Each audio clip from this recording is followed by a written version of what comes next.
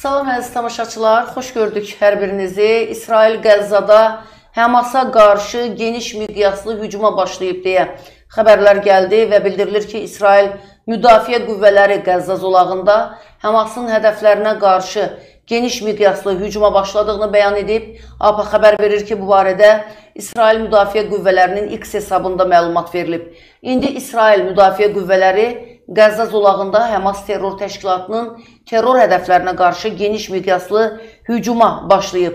İsrail ordusu Qəzza zolağında Həmas təşkilatının terror hədəflərinə böyük intensivliklə hücumu davam etdirir. İsrail ordusuna məxsus döyüş təyyarələri Qəzza zolağı boyunca Həmas terror təşkilatının bir sıra terrorçu hədəflərinə hücum edib, təyyarələr hərbi birləşmə ilə yanaşı silah anbarına zərbələr endiriblər. Həmçinin Həmas terror təşkilatının İsrail dövlətinə qarşı terroru istiqamətləndirmək üçün istifadə etdiyi Qərbi Cəbəlliyədəki döyüş idarəetmə mərkəzinə də hücum edilib.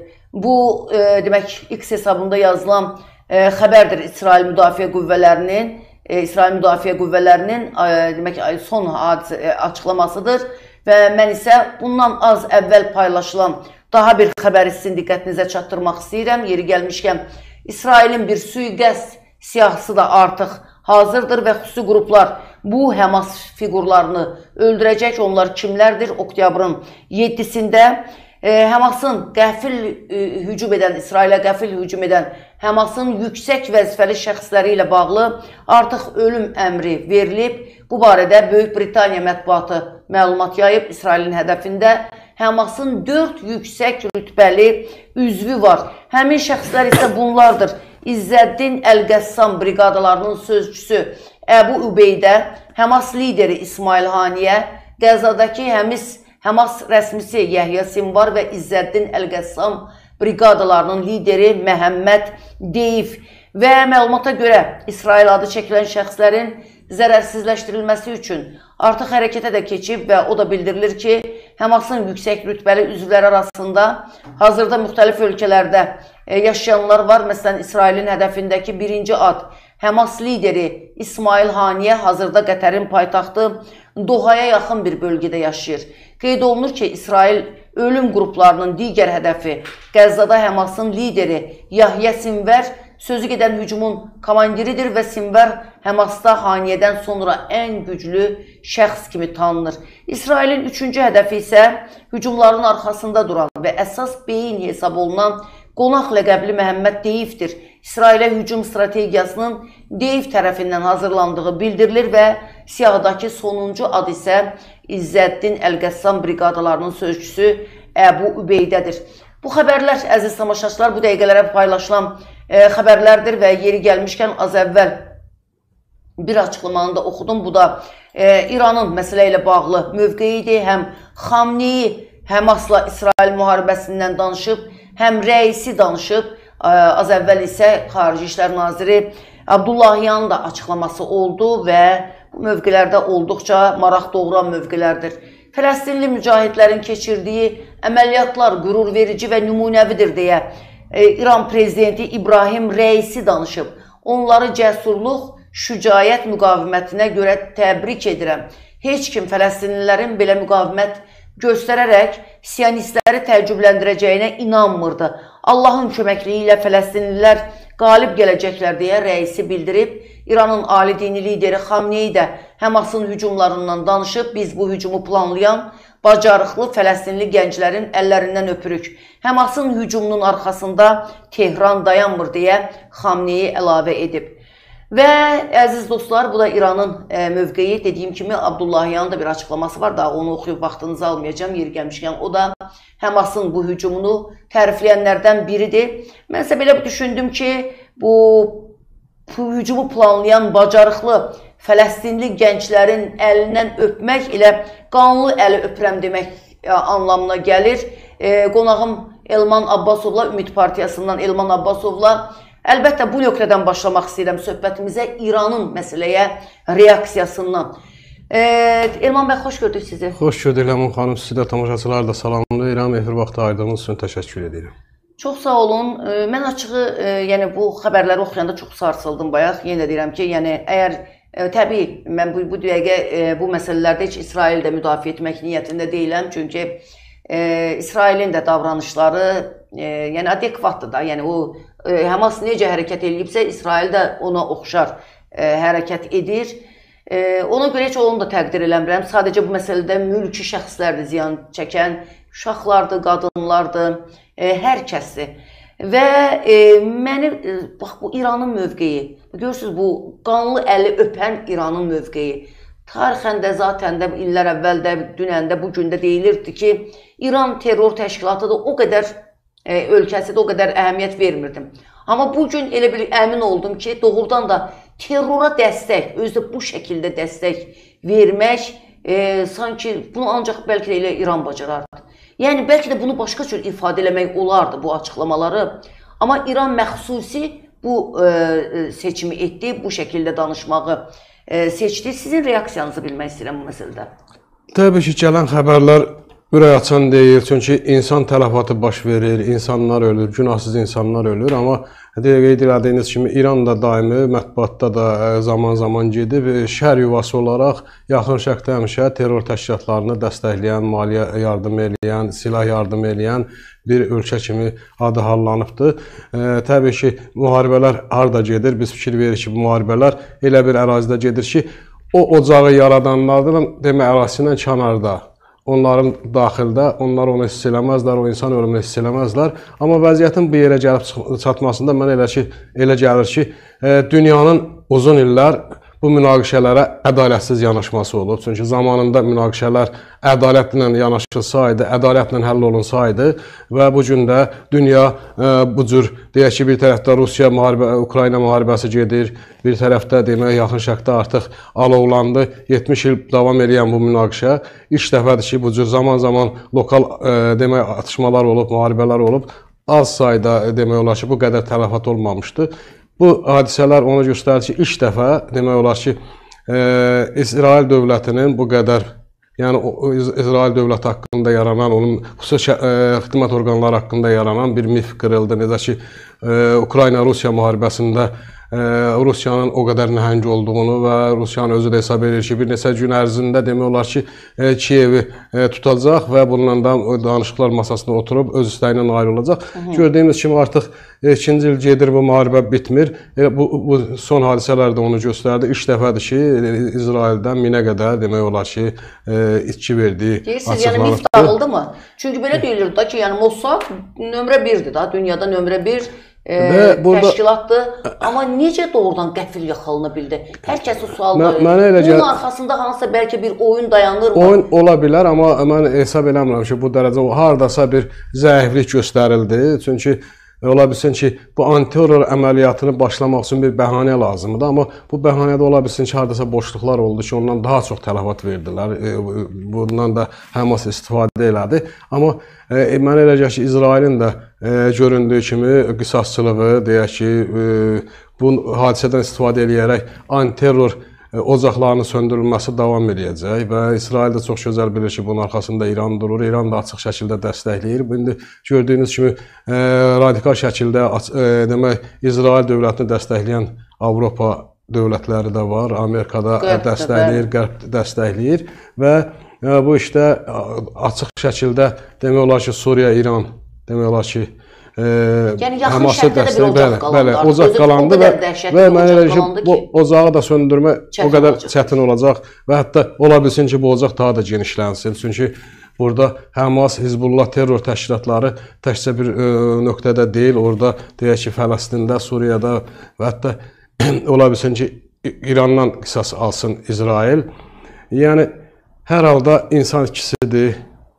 Buna dərhal reaksiya vermədilər. Deyək 30 ildə, 70 ildə e, Qəzzada baş verən hadisələrə ciddi reaksiya verilmədi. İkili standartlarla yanaşıldı. Yeri az əvvəl Netanyahu, e, Netanyahu haqqında bu fikirləri Hüseyn Əmir Abdullahiyan Borelin diqqətinə çatdırmışdı ki, zamanında Netanyahu, yəni bu məsələləri tənzimləsəydi, yəni vəziyyət bu dərəcədə olmazdı. Eləcə də bizim bizim özümüz o təcrübəni yaşamışıq. 30 il Qarabağda gedən bu iş, erməni işğalına son qoymaq üçün beynəlxalq ailəm, demək dünyada ədalətli Avropası, Amerikası ədalətli mövqe qoymadı. Son vaxtlar BMT-də ermənilərin yenidən qayıtması ilə bağlı hansısa şərtlər irəli sürməsi göstərir ki, bizim 1 milyon qaçqınımız olmuşdu və bu cür onların dədə-baba yurtlarına qayıtması üçün bu cür açıq şəkildə e, demək bəyanatlar verilməmişdi.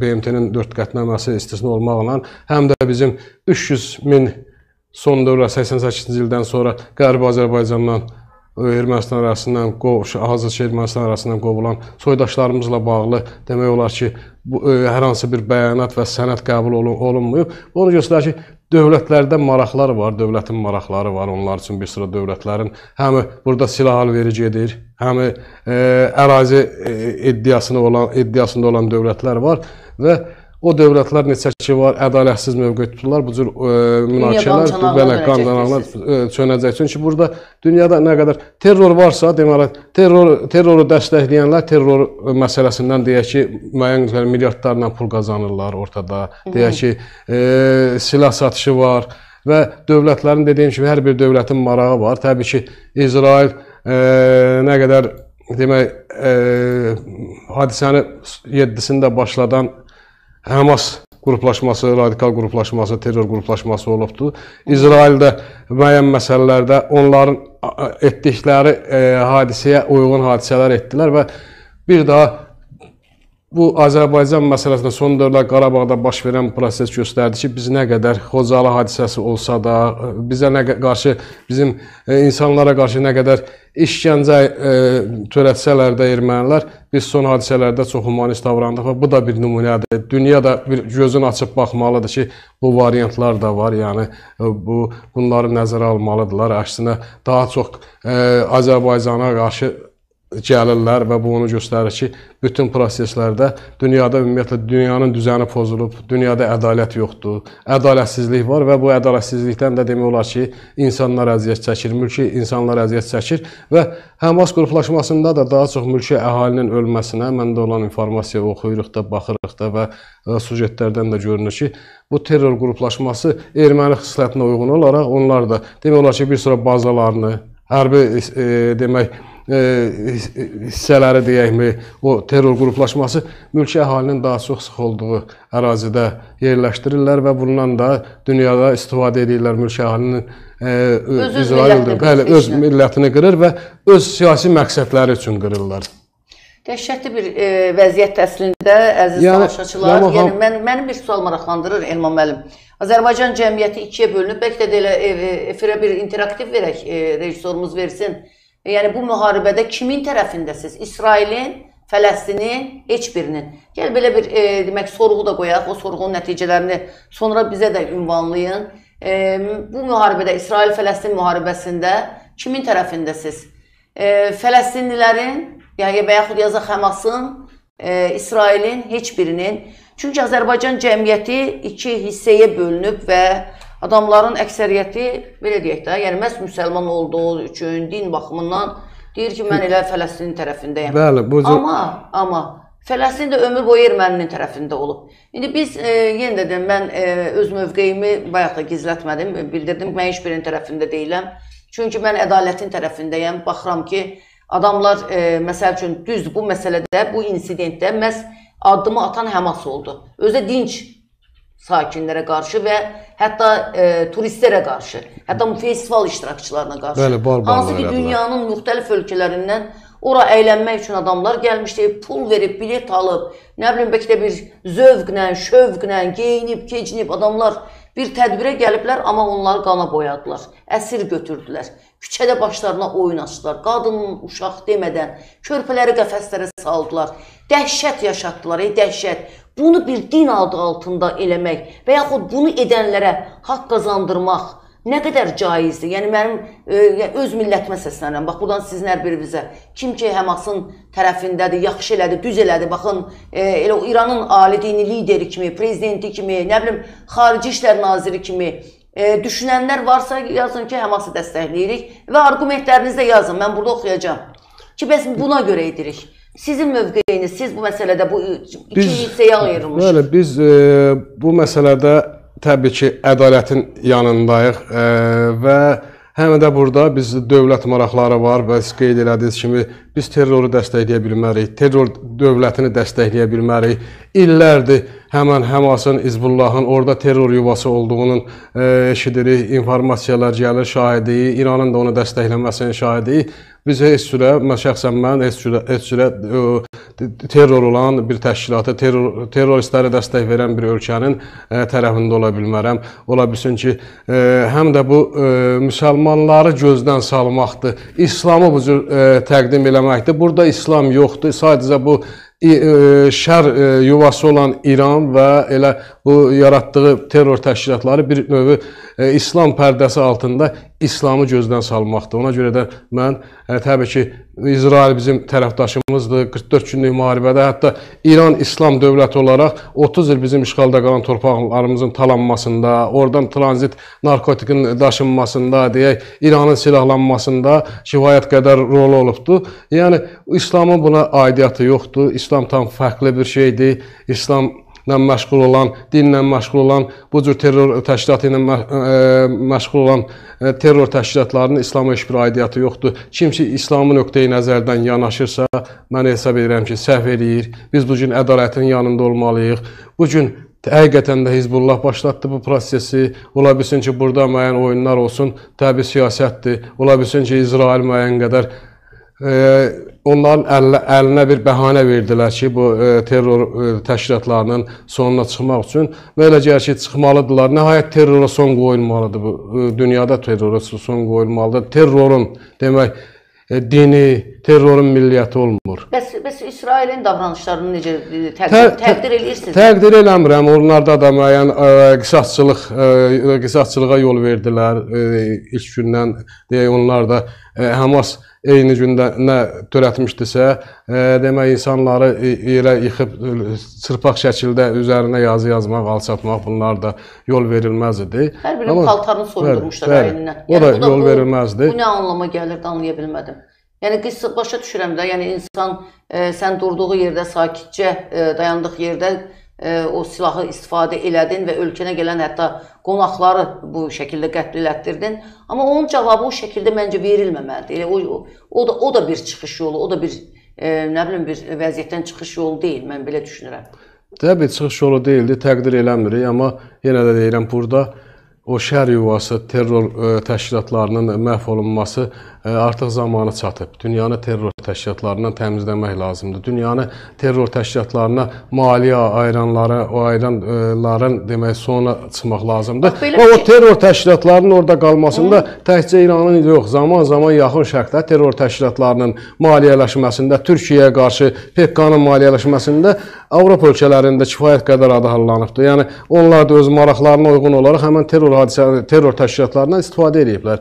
Yəni burada dövlət maraqları var qan çanağı yaradırlar və ondan öz məqsədləri üçün, siyasi məqsədlər üçün, üçün istifadə edirlər. Belə deyək ki, terror təşkilatının terror kökünü də tamamilə kəsmək mümkün olmayacaq. Necə ki, dünyada dövlətlər ədalətsiz yanaşırlar, özləri yaradırlar bu münaqişəni, terror təşkilatlarını da özləri yaradırlar və qeyd elədiyim kimi siyasi məqsədləri üçün həmin insanların qana boyanması, insanların ölümü hesabına öz siyasi məqsədlərini həyata keçirdirlər. Və yeri gəlmişkən e, az əvvəl bir maraqlı açıqlama oxumuşdum. Bilirsiniz ki, e, e, demək ki 6 milyard dollarını Amerika dondurulmuş pulu İrana qaytardı Bəli. və McCarthy-nin səhv etmirəmsə az əvvəl bir açıqlaması vardı. Deyirdi ki, təcili o pulları təzədən do dondurun. Çünki İran Hizbullahı maliyyələşdirir, eyni zamanda görünür həm də e, deməli bu terror Həması e, maliyyələşdirir və bu məsələ e, İrana qədər gəlib çıxa bilərmi? Yəni İran müharibəyə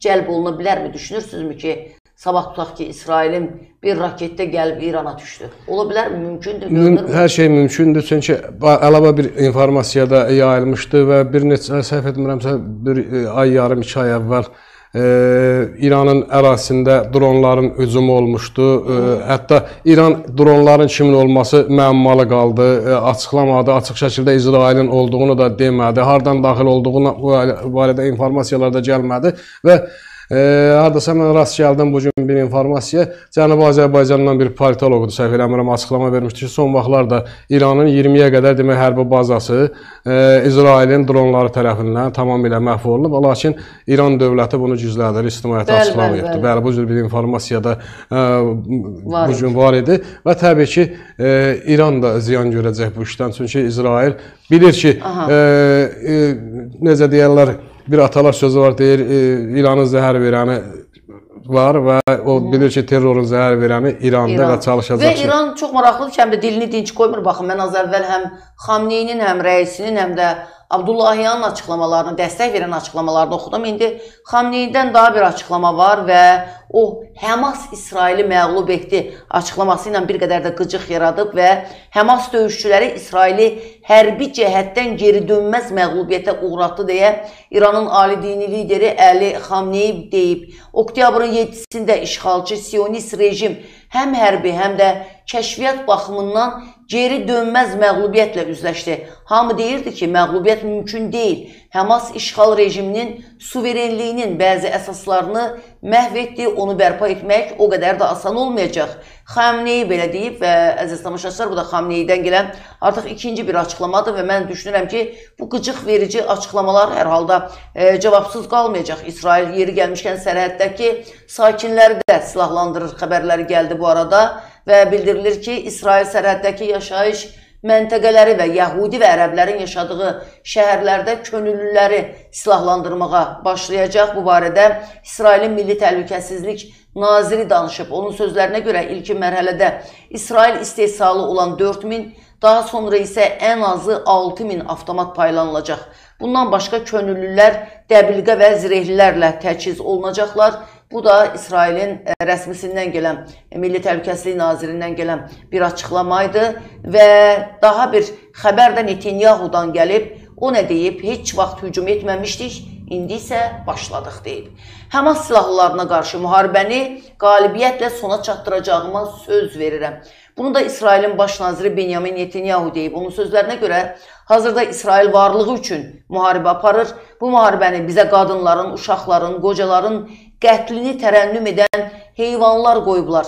Həmasın törətdiyi vəhşiliklər, işidin vəhşiliklərindən sonra görünməmiş bir cinayətdir. Biz həmişə Həmasın nə olduğunu bilirdik. İndi isə bütün dünya bilir. Həmas işitdi. Necə ki işıqlı dünya işidi məğlub etdi, biz də qalib gələcəyik. Həmas müharibə istəyirdi və onu da alacaq. Netanyahu bildirib ki, İsraildə hələ də xeyli sayda terrorçu var Stat mən Həmasa hücum əmri verdim. Çünki əvvəllər onlara hücum etməmişdik və bu hazırda baş verir. Biz Həmasa qarşı yenicə müharibəyə başlamışıq. İndi Qəzzada gördükləriniz yalnız başlanğıcdır. Biz yüzlərlə terrorçunu öldürdük və dayanmayacağıq. Netanyahu-dan gələn bir açıqlamaydı, əziz dostlar. Və e, Elman, mən, Elman bəy, mən belə başa düşdüm ki, bu xəmir hələ çox su aparacaq və, və miqyası genişlənə bilər. Bəli, çünki az əvvəl belə xəbərlər vardı ki, Həmas güya barışıq üçün, atəşkəs üçün əl uzatmışdı, amma İsraili İsrail tərəfi e, bunu heç yaxına da buraxmayıb. İndi Netanyahu-nun açıqlaması bir daha onu göstərir ki, bu hələ davam edəcək. E, Hardasa informasiya vardı. 1500-ə qədər e, o hücum eləyən e, Həmas yaraqlıları, meyitlərini götürmüşlər və 1500-ə qədər də informasiya son mən yolda gələrkən baxdım, e, məlumat var ki, 1500-ə qədər də Həmas əskəri demək olar ki, əsir düşübdür. Yəni terrorçunu öldürsün, deyir qanı halaldır. Əgər o terrorçunun qanı mən belə düşünürəm ki, halaldır. Te Amma o mülki adamdır. Terrorçu da qaçıb girir, e, deyək ki, mülki ahali içərisinə. Son dövrlər bizim bu son e, əməliyyatda, e, antiterror tədbirlərində bizim daha çox içki verməyimin səbəbindən e, verməyimizin səbəbkarlarından biri də həmin ermənilər e, demək terroristlərinin gedib mülki əhalinin arasında gizlənməsi oldu, səbəb oldu bizdə içkinin daha çox olmasına. Onlarda da xislətində görünür ki, mülki əhali düşünmürlər, öz əhalisinin qırılmasına səbəb olurlar və gedib həmin mülki əhalinin olduğu yerdə döyüşürlər, orada deyək ki, silahdan istifadə edirlər və buna görə də mülki əhali daha çox orada öləcəkdir, daha çox qırılacaqdır. Çox təəssüf və yeri gəlmişkən daha bir açıqlamada Həmasın mühacirətdə olan yüksək rütbəli rəsmisi Əli Barakidən gəlib və o da bildirib ki, Həmas da hücumun miqyasından şoka düşüb. Yəqin onlar da gözləmirmişlər və Həmas İsraillə uzun müddət müharibə aparmağa hazırdır və uzun müddətə çatacaq raket arsenalına malikdir. Və onun sözlərinə görə girov götürülən şəxslər İsrail və ABŞ həbsxanalarında saxlanılan Fələstinliləri azad etmək üçün istifadə olunacaq. Tam təfərrüatlarını oxumayacağam, amma mənə maraqlı gələn uzun müddətə çatacaq raket arsenalına malikdir. Həmasın maliyyəsi, maliyyəsi həm də e, İrandan gedir, səhv etmirəmsə. Çünki e, deməli Hə, e, İran belə başa düşdüm ki, baxmayaraq ki, özü nə qədər sanksiyalarla illərdir üzləşən bir ölkədir. Ölkəsində iqtisadi vəziyyət o qədər də yaxşı deyil. E, nə insanların yaşayış şərtlərinə baxırıq. Adamlar küçələrdə azı bir ildə etiraz edirlər. Təkcə onların etirazı e, çarşaba, çadraya görə deyil ki, onların hüquqları, haqları uğrundadır. Nə bilim, e, sosial-iqtisadi vəziyyətdən dolayıdır. Amma adam həm də belə baxır ki, deyəsən, silahı, silahlandırma sarıdan və silaha xərclənən pula heç bir dövlət e, deməli e, ne, necə deyirlər, xəstə eləmir da. Yəni cəmaatın boğazından kəsir, bəli, milyardlarla. Hər hər il e, cəz şəbəkəsi, şəbəkəsini maliyyələşdirmək üçün, terror təşkilatlarını maliyyələşdirmək üçün milyardlarla İran pul xərcləyir ancaq o işlərə.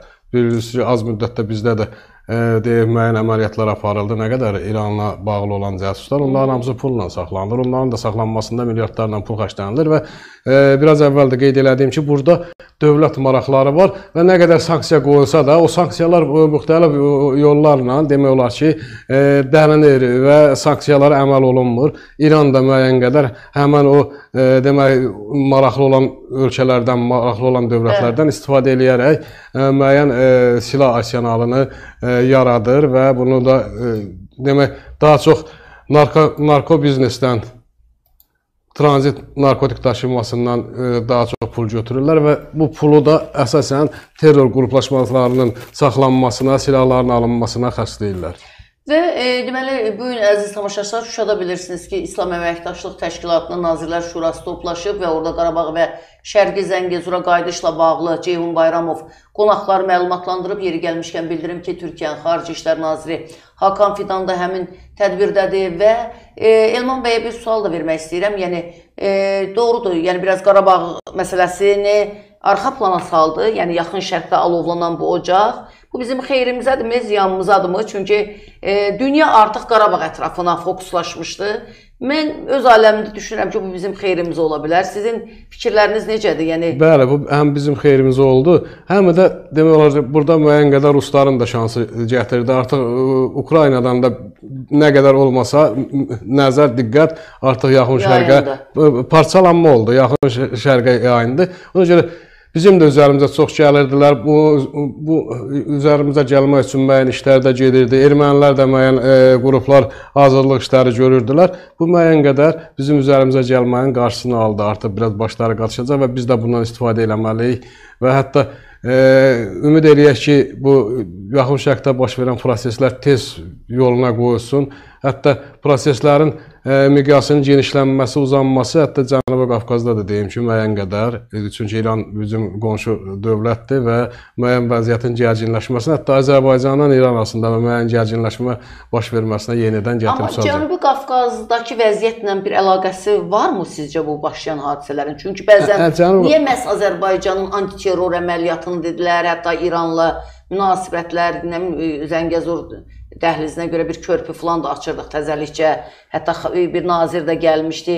Bir bağ axtarmağa çalışırlar. Mən ha fikirləşirəm bir bağ tapa bilmədim. İsrailə görə. Çünki bəli, Azərba bəli, bəli. Azərbaycanla İsrail arasında uzun illər müstəqillik dövründən bu tərəfə müstəqilliyimizi elan etdiyim gündən bu günə qədər İsraillə Azərbaycan arasında çox yaxşı tərəfdaşlıq olub, əməkdaşlıq olub, dostluq münasibətləri olub və burada da kifayət qədər deyək iqtisadi, siyasi, deyək ki, e, müqavilələrimiz var və bu da İranı qıcıqlan qıcıqlandırır və İranın orada terroru dəstəkləməsi, İsrailin burada olması yaxın gələcəkdə bu proses böyüyərsə, e, miqyası müharibənin genişlənərsə, təbii ki, ola bilsin ki, bu nöqteyi nəzərdən Azərbaycanla İran arasında da yenidən onsuz da xoş münasibəti yoxdur. Mehriban ə, e, düş, ə, düşmən münasibətləri var. Nə qədər bəyan etsələr də demək olar ki, sona qədər onlar bu son hadisələrdən ə, istisna olmaqla bu Amerika Birləşmiş Ştatlarının e, demək Ermənistanda təlimlərindən sonra İranda biraz qıcıq yarandı, münasibətlərində biraz soyuqluq yarandı və bizim tərəfdən biraz isinmə yaranmışdı. Amma o e, müəyyən gərginlik yaranması gözlənilir. Onsuz da gərginlik var. Çünki onlar həmişə bilirlər, özüm 30 milyon, orada 40 milyona yaxın demək olar ki, soydaşlarımız var və Azərbaycanın e, ərazi bütövlüyünü təmin eləməsi, Azərbaycanın biraz da demokratik e, iqtisadi inkişafı demək e, İranda bir e, içində bir qorxu var ki, gələcəkdə oradakı soydaşlarımız yenidən etiraz edirlər, dillərini istəyirlər və gələcəkdə İranın parçalanması məsələsi ortalığa çıxa bilər. Kimin əli ilə olacaq? Orada yaşayan demək o qrupların, e, digər e, e, milli kimliyi olan insanların, kürdlərin, türklərin hesabına olacaq və Azərbaycanın da e, qonşu olması və inkişaf etməsi, Qarabağ məsələsinin artıq öz e, sərhədlərini bərpa eləməsi İranda bir narahatçılıq yaradıbdı və o nöqteyi nəzərdən İsrailin də burada daimi dostluq münasibətləri Hətta informasiya getdi. Burada kifayət qədər demək İsrail şirkətlərinin e, demək olar ki, iqtisadi maraqları var və iş görürlər. Bu təbii ki, İranda bir qıcıq yaradır. Deməli əziz tamaşaçılar, yeri gəlmişkən bizim e, demək ki, interaktivimizdə də bir 64% e, İsrailin tərəfindəyəm deyir. Fələstinin tərəfində olanlar 12%dir, heç birinin tərəfindəyəm deyənlər isə 24%dir. Yəni e, İsrail həqiqətən də 44 günlük müharibədə Azərbaycana çox ciddi dəstək oldu. Bəzən danışanda deyirlər ki, əşi neynədir ki, pul, haropunu satdı da, yəni satdı.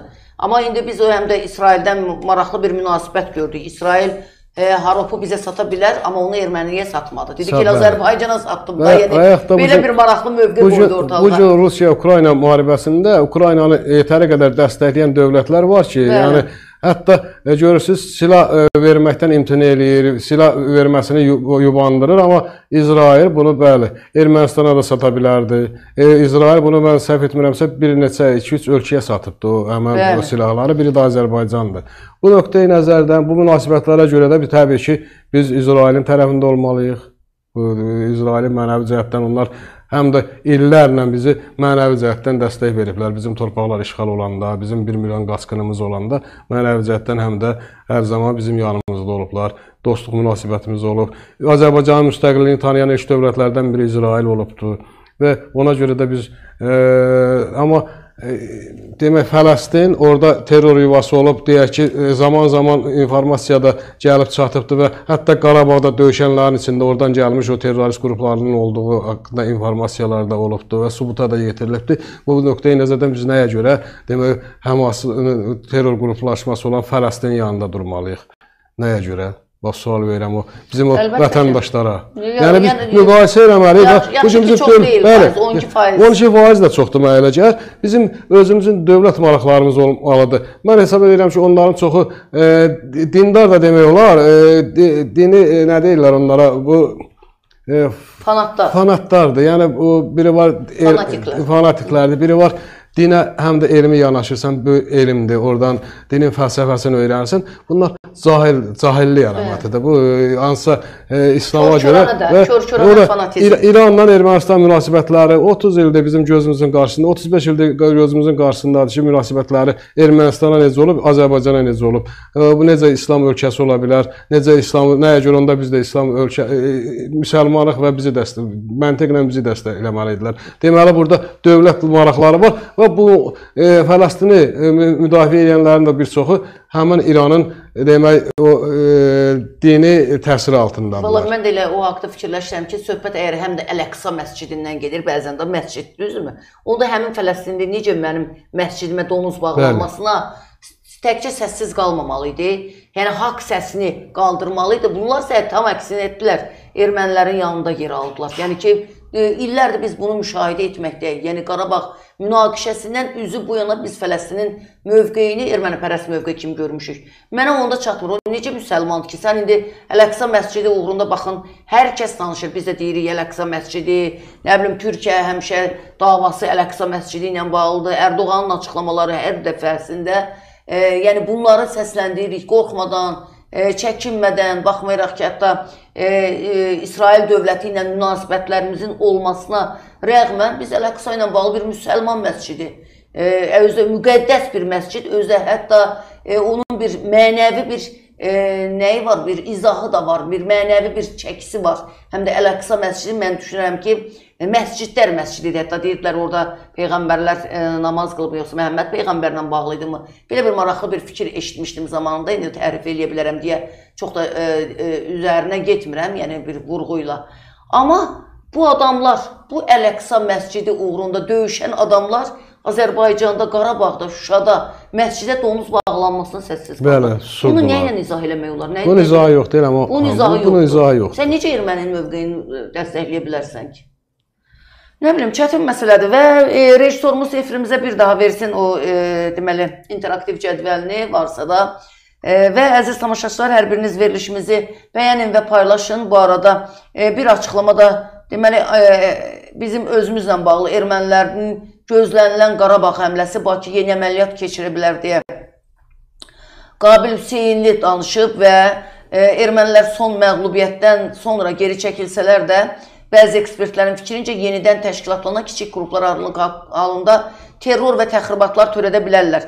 E, terror törədə bilərlər çünki bu erməninin xislətidir. Mən oxumuram tam təfərrüatları, amma düşünürəm ki, e, demək ki, Qabil Hüseynli də xüsusi vurğunu Asalaya e, vurub deyib ki, Asala kimi terror təşkilatları mənsublarının olmamasına diqqət etmək lazımdır. Qarabağa qayıdarkən onların arasında, yəni gələcəkdə ermənilər qayıdarkən.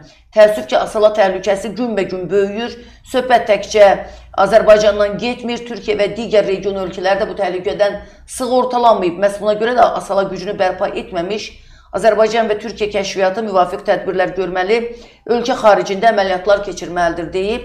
Yəni dünyanı dağıdan həm də baxın bu təşkil terror təşkilatlarıdır. Biz bunu həm də Həmasın timsalında gördük, durduğu yerdə sakitcə insanların bir musiqi festivalına gəlinib, şənləndiyi yerdə nə boyda qana bürüdülər dünyanı.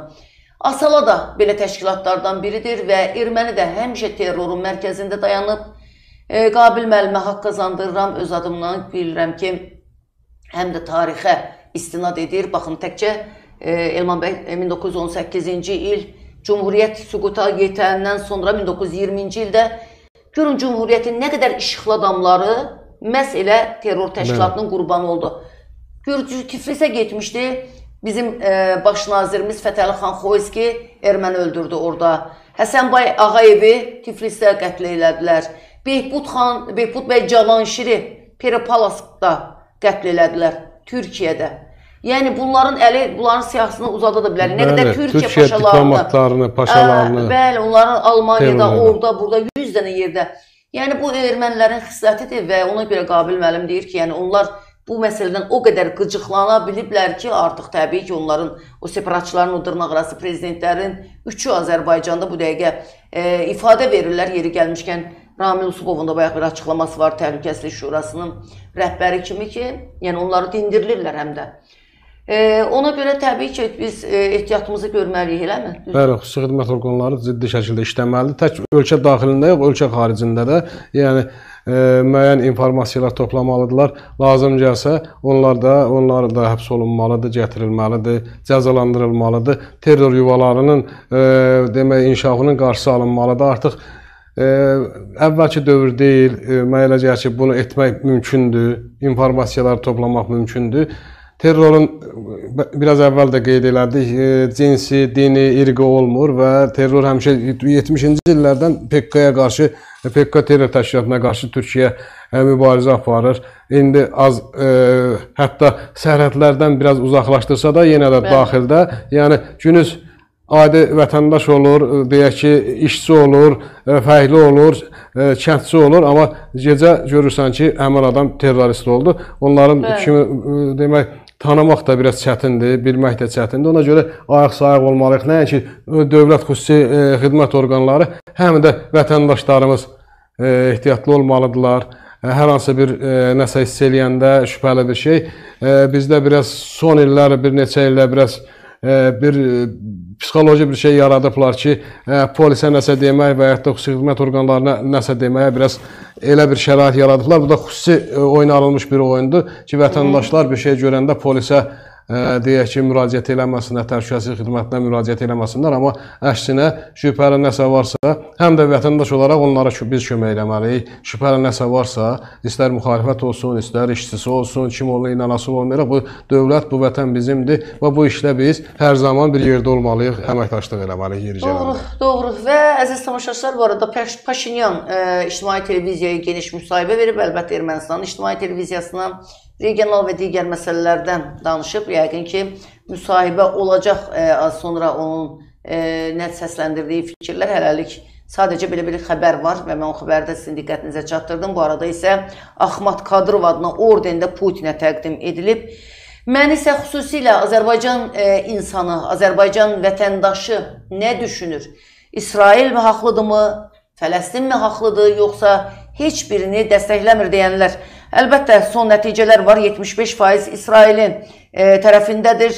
9% Fələstin tərəfdarıdır. 16% isə düşünür ki, nə edirlər eləsinlər, bunların mənə isti soyuğu yoxdur. Mən isə düşünürəm ki, dünyaya bunun isti soyuğu var, hər kəsə var. Çünki orada öldürülən o gənclər, o balalar, o körpələr, o qəfəsə salınanlar hər birimizin balası ola bilərdi. Yəni hər birimizin də balasıdır. Yəni mələk, mələklər Araş, onlar- araş verim artıq orada e, bu hücumda, Həmasın hücumunda, ilk hücumunda Azərbaycanlılar orada yaşayan, İsraildə yaşayan. Azərbaycanlıların da xeyli sayda Azərbaycanlı öldü, ölübdür Amma və bu demək, bu demək deyil ki, məsələn artıq Amerika Birləşmiş Ştatları təsdiq elədi 10 nəfər. 11 on- nəfər 11 onlardaydı, bir onlardandır. 3-4 nəfər Azərbaycanlılar da var və o yazanlara e, yazdıqlarına görə mən deyirəm, isti soyuq həmişə var və qeyd elədiyimiz kimi bu e, miqyas genişlənərsə, dünyada bu proseslərin təbii ki, bir tərəfi e, obyektiv, subyektiv səbəblərdən gəlib bizə də Bizə də çıxar. o, Toyabi heç uzağı İrana bir dənə raket atsın, İranla müharibəyə cəlb olunsa görün nə qədər qaçqının qabağını biz saxlaya Qaçqın bilmərik. olacaq və İranda da bizim Doğru. əhali, bizim soydaşlarımız yaşayır. Bəli, Ən azından bir raketin biri onların Doğru. üzərinə düşəcək və onlar da bizim Doğru, e, soydaşlarımızdır. Doğru.